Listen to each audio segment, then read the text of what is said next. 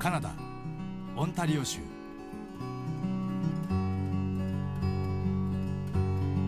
青空を突き抜けるかのように高層ビルがそびえ立つ街。そこはトレンドシティトロント。ロングランのミュージカルを楽しむためにブルージェイズのプレーを観戦するために人々は刺激に満ちた都会へとやってくる。そしてまた美しい自然に出会うために人々は新天地へと向かう。ナイアガラの滝をスタートしオンタリオレイクに沿って伸びるメープル街道を東へ進むその先はターミナルタウンの一つキングストン。そこは今回の目的地スモールマウスの桃源郷スモールマウスバスワールドへの入り口である。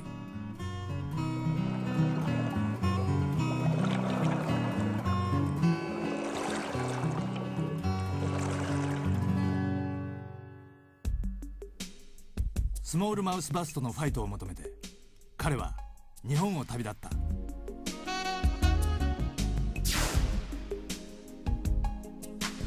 吉住健二ティームダイワを代表するバストーナメンター。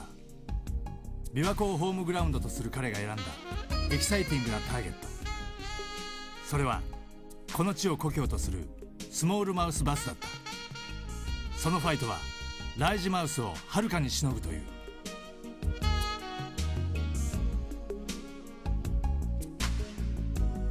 世界へと旅立つティームダイワ X 最初のステップ。彼は X を駆使して今回のフィールドをどうクリエイトしていくのだろうか。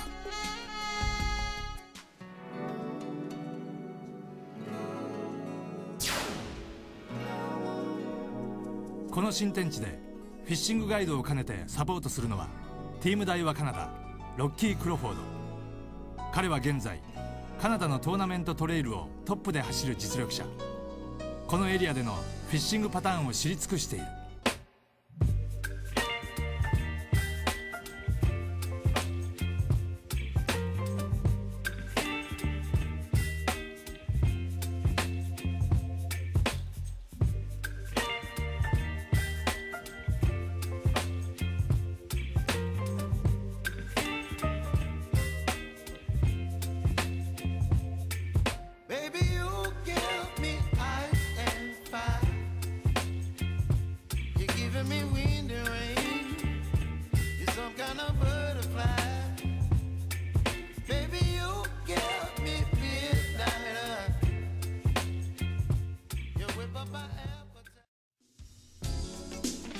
兆候を前に日本から持ち込んだスペシャルウェポン。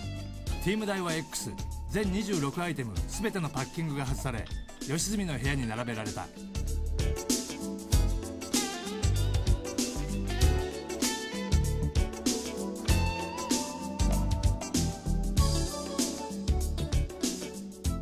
これからカナダで釣りをするわけやけどね、うん、結構大型の台風が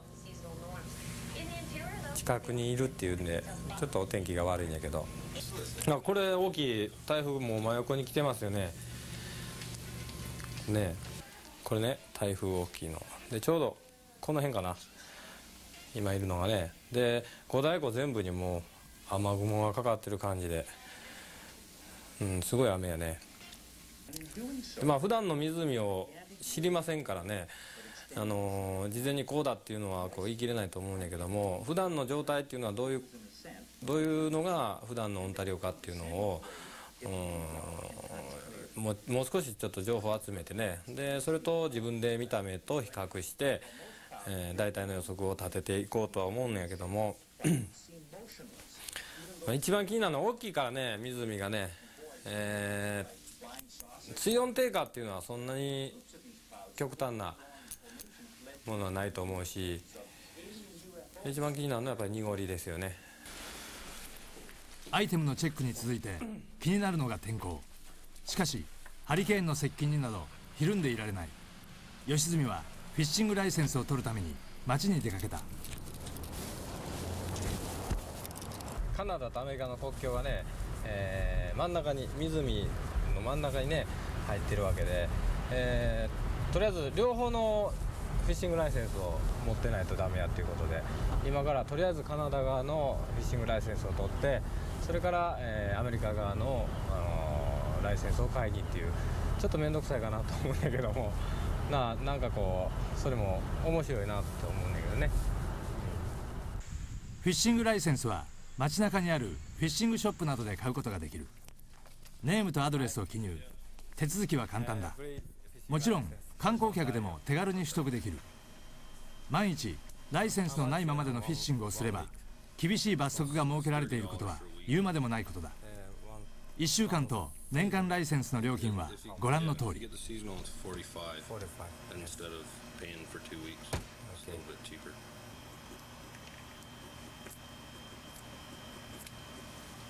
1週間1日1週間シーズンとあってで髪の色はゴールドになってしまいました。これでカナダのフィッシングライセンスは取得。しかしもう一つアメリカのライセンスが必要なのだ。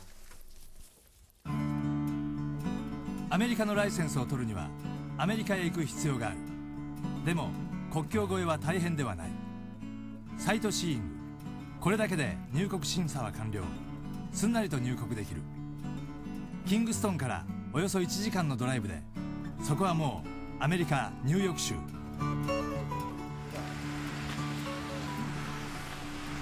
注意しておきたいのはここの通貨が US ダラーであること。あらかじめエクスチェンジが必要だ。Yep. これで全て OK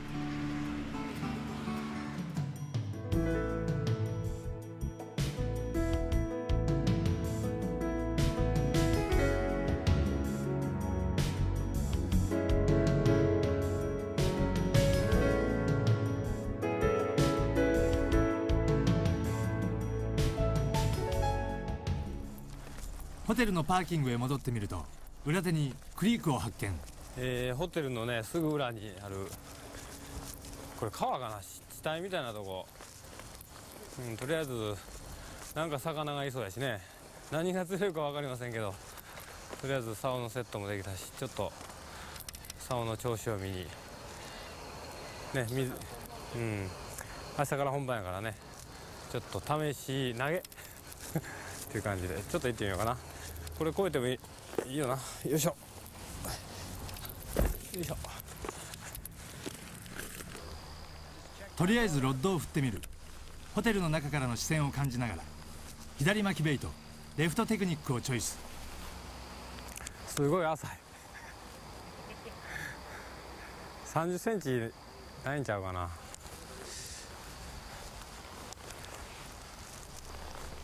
吉住はレフトテクをリトリーブしながらギャラリーの反応を楽しんでいる。なんだよあのリール。なんて声を聞きながら。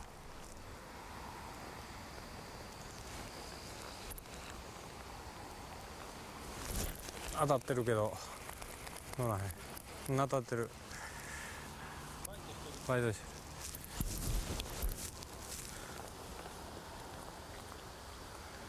ほら。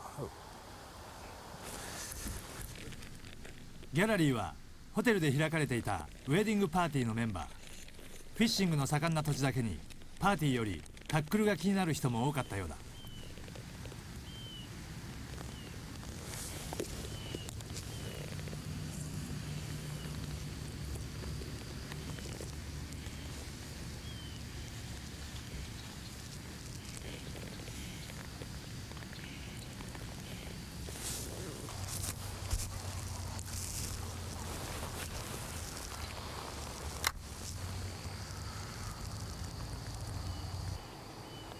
持っていくんやけどねたまにコンコンと。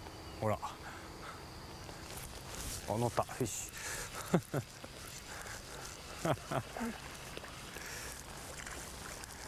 あパーチ。パーチ。拍手が沸き起こった。カナダでの記念すべきファーストヒットはホテル裏でのイエローパーチとなった。かわいいのこれあたりの人翌日からの本格的なフィッシングに備えタックルをセッティング。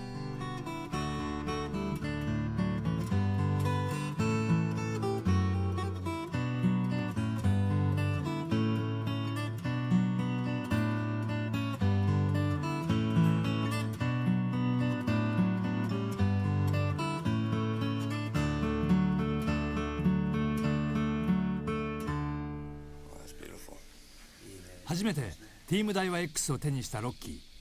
斬新なデザインのリールに驚きの表情は隠せない。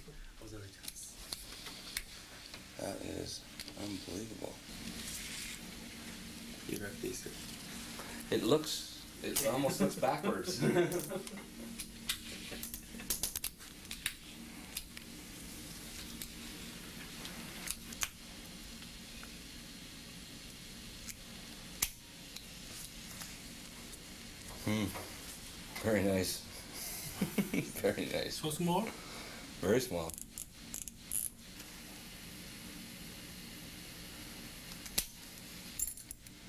Small mouth. Oh, small mouth spinner bait. Big, Yeah. big small mouth. Um, so they will finally went to these. どうやら明日からのターゲットスモールマウスにはティームダイワ X の性能は申し分のないようだ Very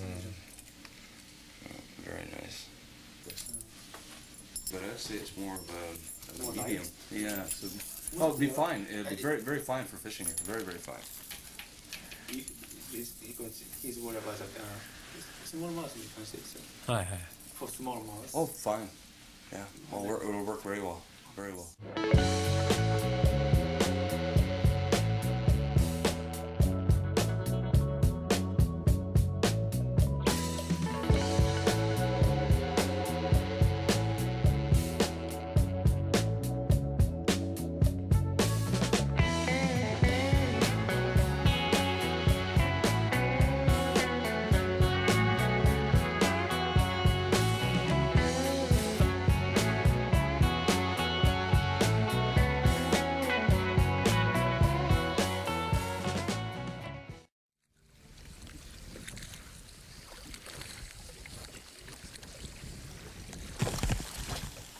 クリアウォーターであれば10メートルの深さからでも一気にバイトしてくるスモールマウス。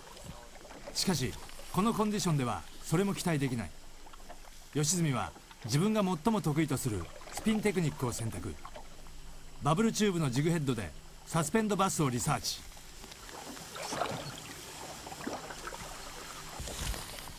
広大な湖の中でもこの辺りは比較的浅く深さはおよそ20フィート。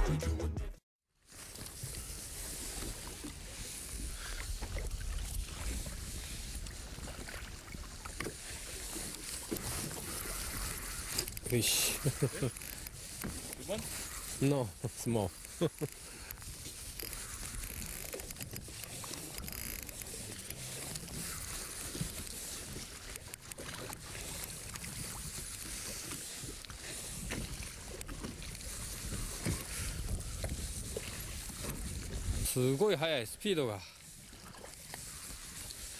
面白いねこれ。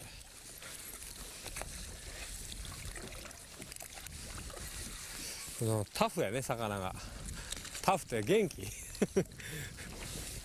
大抵浮いてきたらもうふわっとくんやけどこっからまだまだ行く行くもんねほらほら。これからラージやったらここでポワーンと浮いてくんやけどね。こっからがすごいななんかおお。結構しつこい。あノーノーノー。ノー。イエスパフ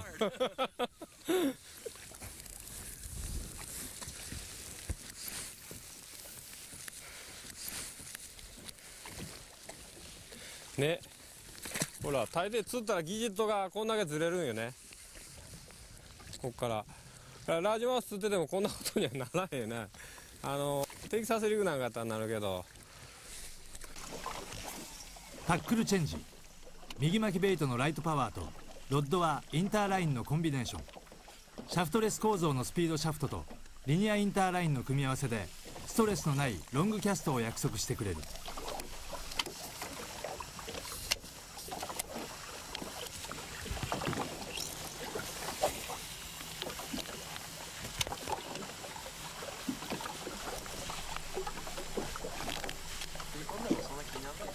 リニア化されたインターラインではロッド内面全体とラインが点で支えられているためリトリーブスピードアクションコントロールが意のままにルアーへと伝えられていく。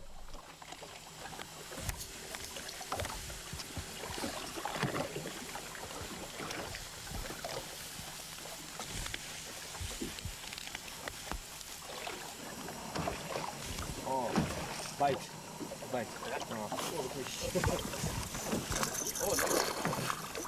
いい音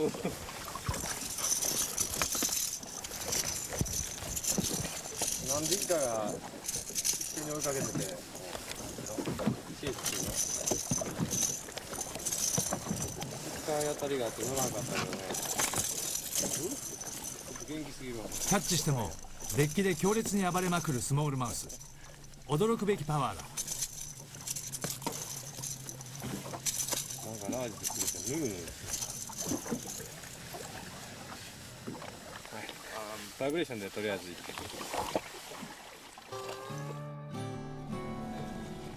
しかしその後さらにフィールドコンディションは悪化。この日はこれでフィニッシュとなった。一向に去っていかないハリケーン。しかし天候ばかりはどうすることもできない。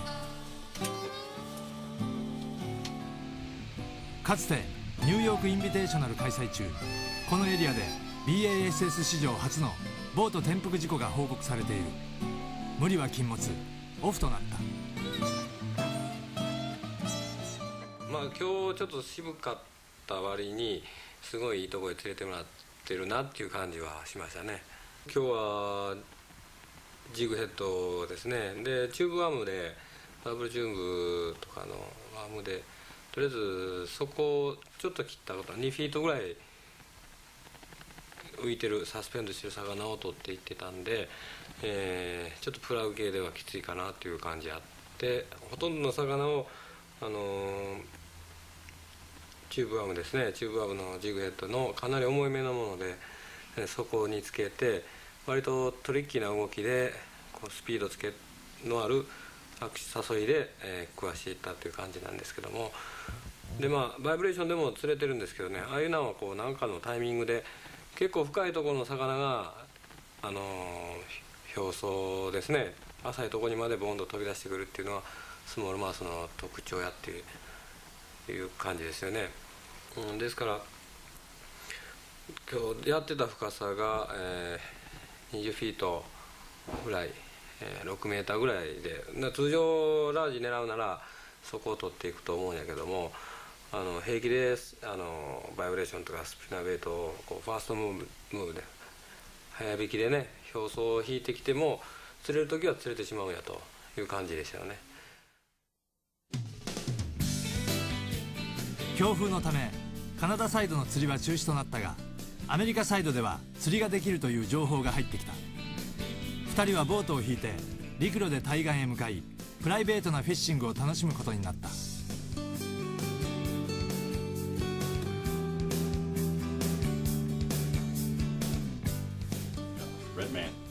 アメリカサイドでフィッシングガイドをしているロッキーの友人ジョン。バストーナメンターとしての経歴も豊富な彼はこの辺りで25年間フィッシングガイドを務める大ベテラン。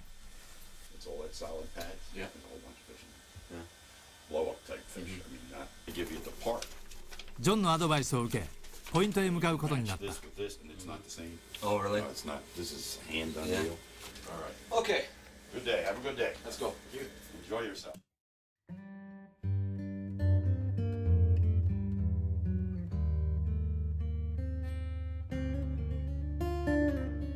こ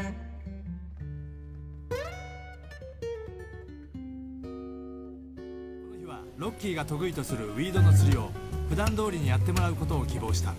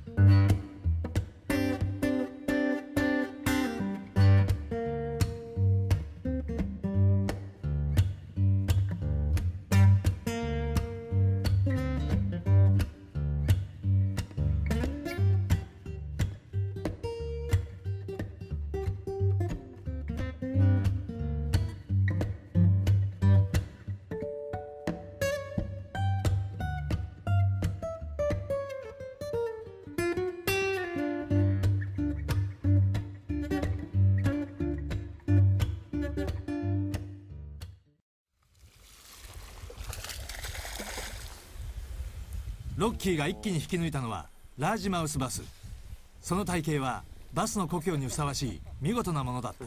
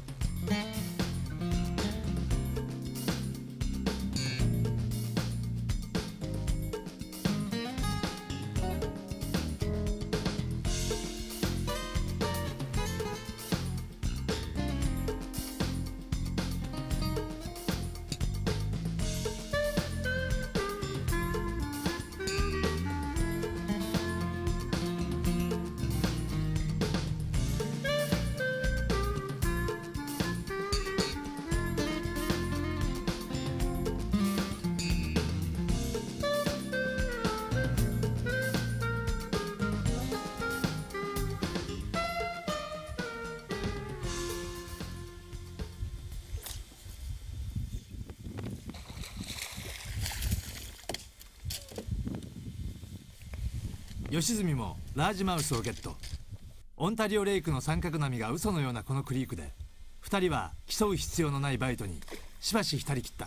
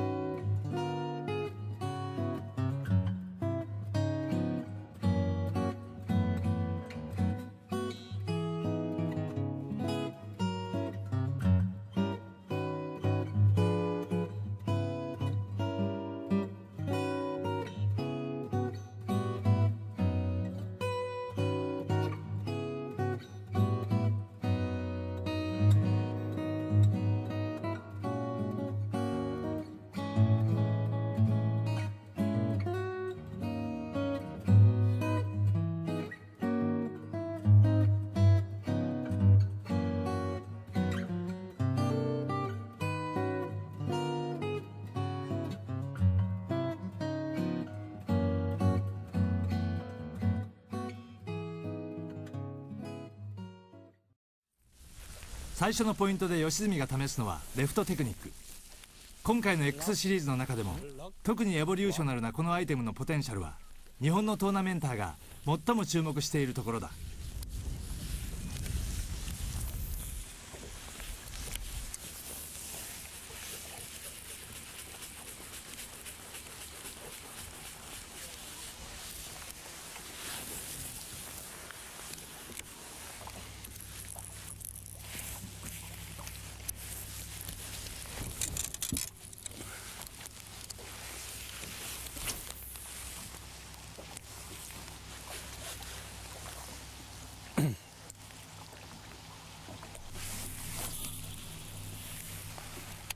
ロッキーはライトパワーでミノーをリトリーブ。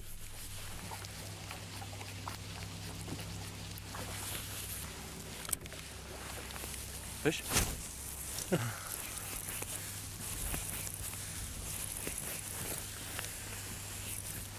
Oh, maybe a pike.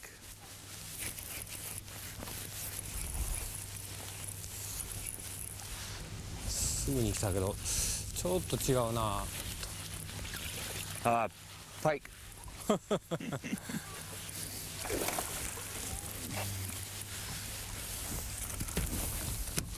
パイク吉住がヒットしたのはノーザンパイクいわゆる下道ということになるのだが1メートルを超えるものもいて地元にはこれをメインターゲットにしているクラブがあるという。Check your line Okay.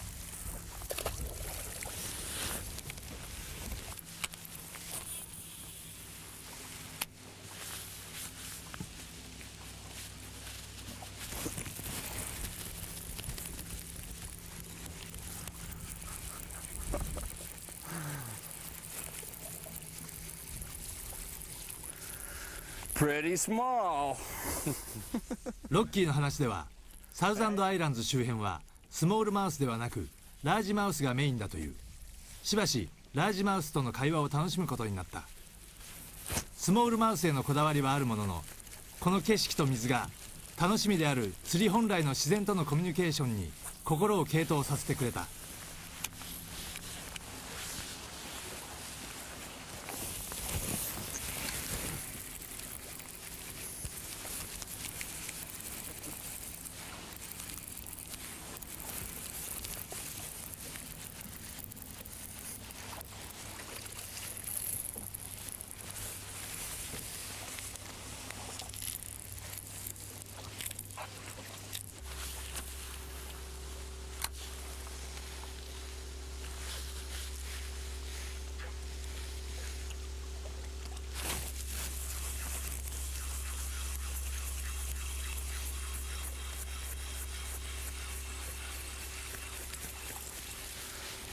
ロックバスウィードラインが切れたところで珍客が現れた。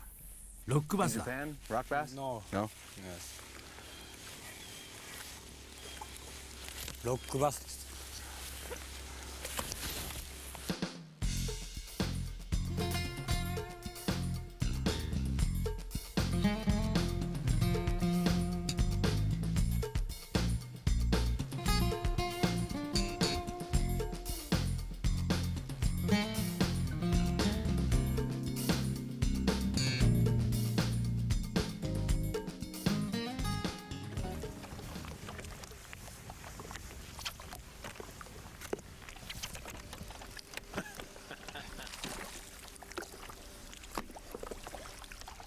ンタリオレイクの水がセントローレンスリバーへと変化していくこの速い流れの中にいるバスはラージマウスも見事なファイトを見せる。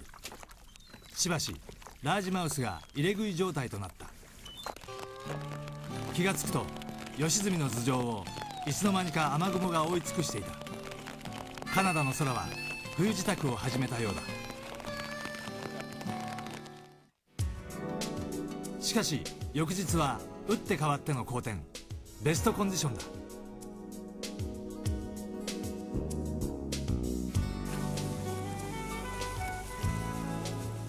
ポイントの様子もほぼ把握し吉住は自らがエレキを踏むことを提案した。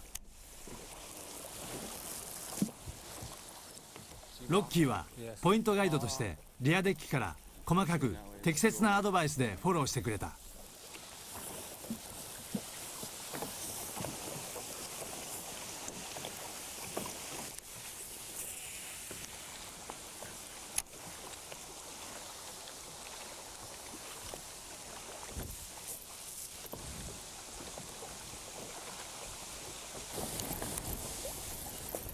空は晴れ渡っていたが風が残った。強風の中でのキャスティングもリニアインターラインなので全くトラブルがない。そしてガイドがない分空気抵抗もまるで違う。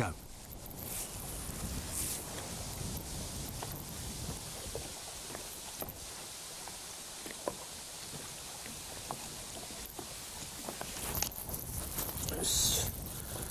おやす。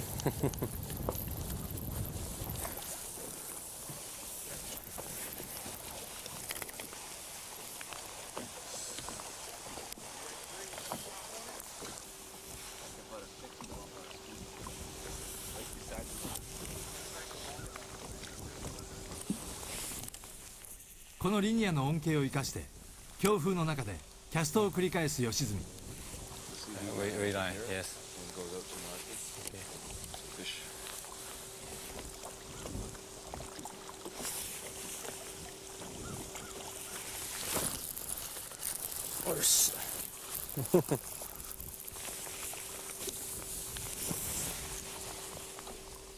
バスたちもこの気持ちに応えるファイトを見せてくれた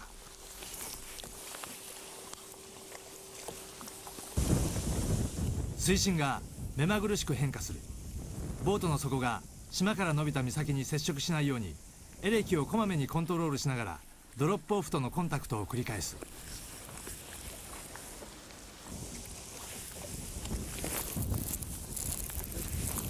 Yes, good,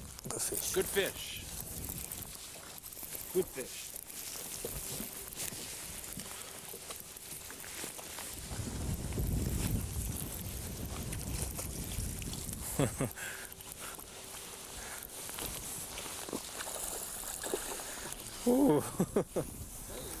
吉住の読みが当たった。10匹のミドルサイズより1匹の50オーバーを。そんな気持ちがこのバイトを誘った。すごいお腹張ってる。そしてさらなるビッグワンを求めて。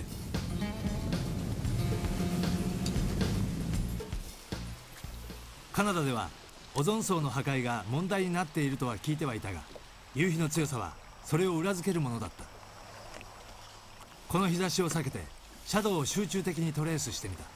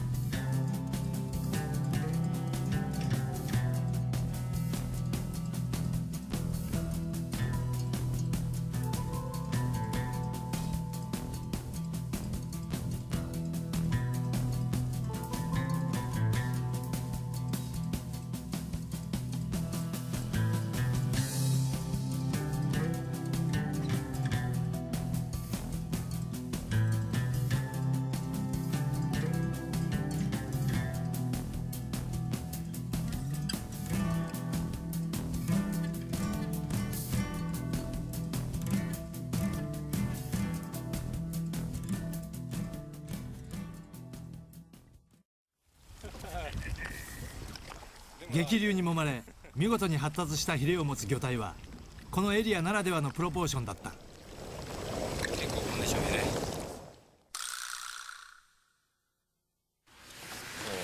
で変わった魚が釣れて、えー非常に嬉しいというかもうワクワクドキドキですよね。何が釣れるかなっていう感じで。でまあそれとすごく景色がいいんでねもうなんかその景色の中でこうバスバスフィッシングねもう本格的なっていうか本場のね釣りの環境に浸ってるっていう浸ってる自分っていうのがね今ここにあんにゃっていうのですごくこう気分は充実してますね。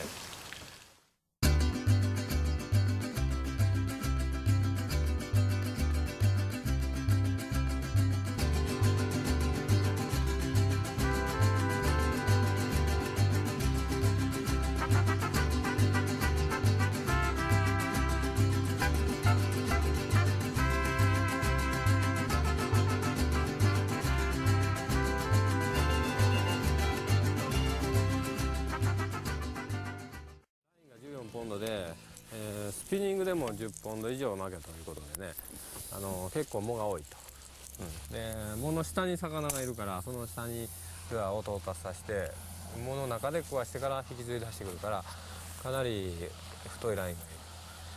でライトタックルねスピニングでも日本の常識超えたような太さ12ポンドとかおまけっていうからちょっと12ポンドちょっと慣れてないからね使いづらいなと。なレフトハンドルベイトの方ね。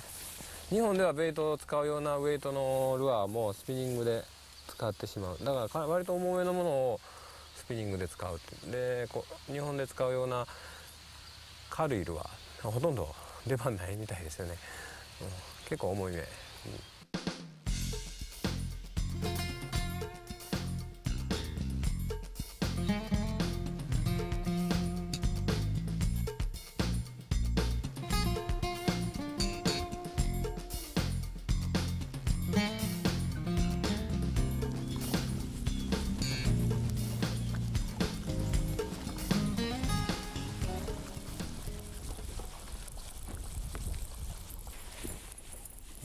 周囲は山も湖底も岩盤層。だから雨が降ってもまず濁ることのないクリアウォーター。スモールマウスがトップに飛び出してくる確率は高い。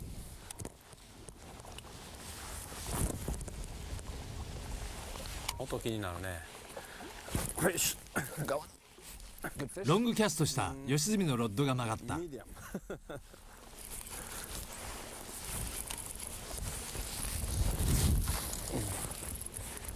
Smallmouth, largemouth.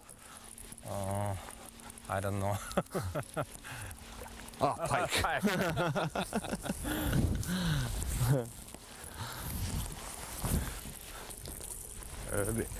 キャッチしたのはビッグサイズのノーザンパイク鋭い歯で釣り上げた相手を威嚇する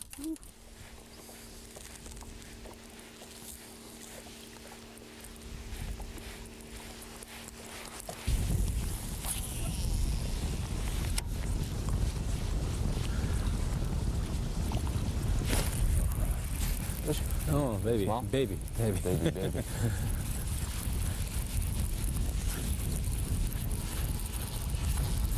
Small mouse? Yeah. Yeah. キャストしたミノーに飛びついてきたのはスモールマウス Small mouse. Baby. What?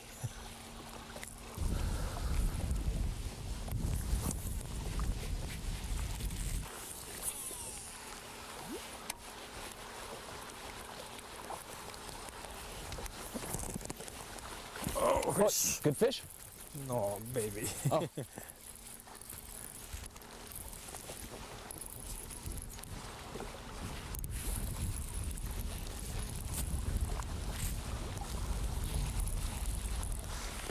静寂を破りスモールマウスがランダムな波紋を湖面に描くうわ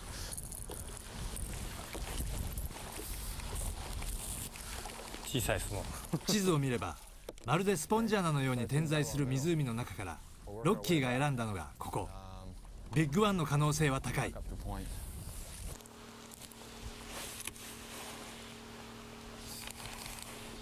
X でラインナップされたレフトテクニックのベイトリールはクラッチの位置が大きな特徴だ。ターミングしたまま親指だけでクラッチのオンオフを制御できる。水深のあるエリアを攻める場合カウントダウンの途中の当たりも瞬時にフッキングへ持ち込める。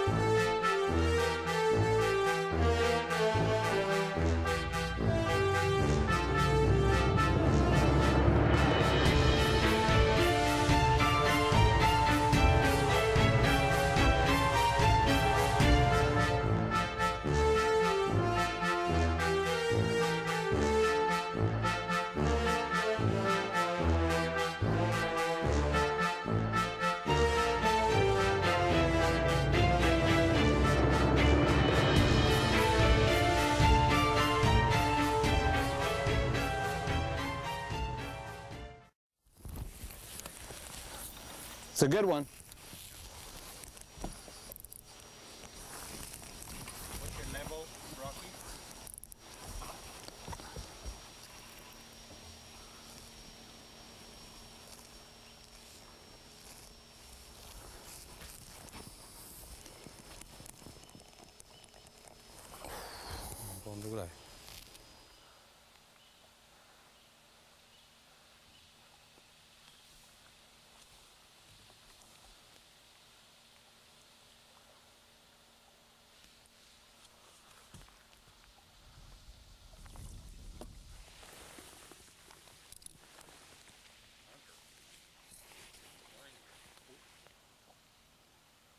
ああでかいでかいでかい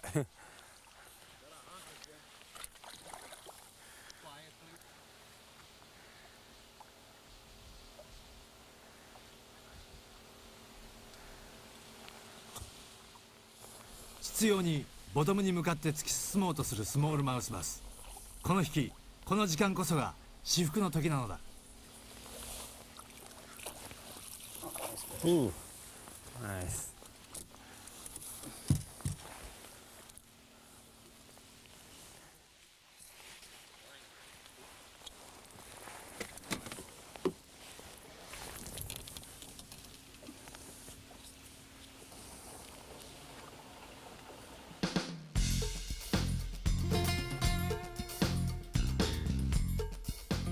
吉住のスモールマウスへの募る思いを感じて緩和9大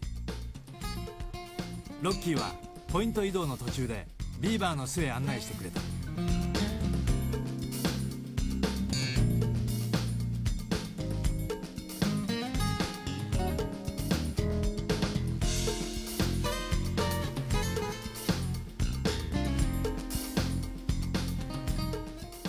どこまでも集中力を持続させながらライトパワーでスピナーベイトのキャストを繰り返す吉積。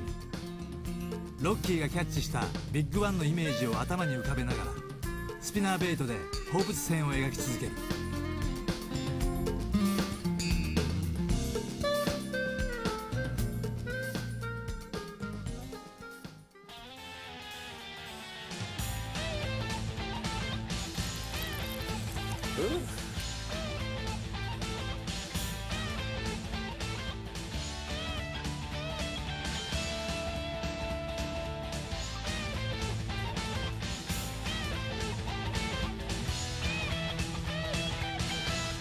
グッドコンディションのスモールマウス。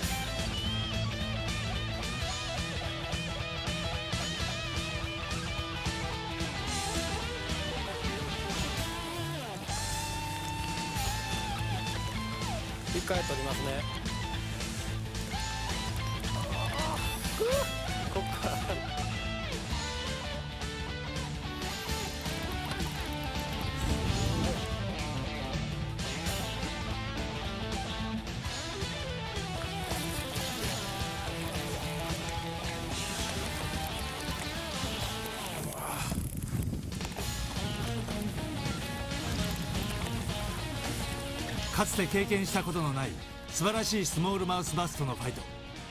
この一匹は X での初の海外遠征という思い出とともにメモリアルなものになった。カナダオンタリオ州。そうここがティームダイワ X がバスフリークのために紹介するスモールマウスバスワールドなのだ。まず全体にその竿にパワーがあって、あの粘りがあるなっていう感じで。あのスモールの引きって結構強いんですよね。その強い引きでも十分に耐えられるパワーがあったんであの非常に助かりましたよ、まあ、それとこのインターライン特有の同上肢の柔らかいっていうんじゃなくて割と張りのあるシャキッとしたサワーが多かったんであのカバン周りなんかも非常に釣りやすかったですよね、うん、パワーがねあのあるっていうのはただ単に硬いっていうんじゃなくてある程度まで曲がり込んでからのトルクっていうんですか？それが非常にこう信頼性の高いレベルであったんで、うん、すごくやり取りはしやすかったですよ、うん、実際スモールなんか根元からこう曲がるぐらい引きが強いんですけど、うん、十分にこう浮かしてこれるっていうか寄せてこれるっていうね、うん、よかったですよ The new Team Daiwa X series of rods and reels, uh, after having fished with them this week, uh, are definitely the future of fishing, and especially the Interline series. Uh, there's nothing like them on the market these days, and it's going to be, as I say, the future of fishing. Uh, it's so far advanced over anything that I've ever seen and used before that I know it's going to improve my fishing in a big way, and I'm sure it will yours too.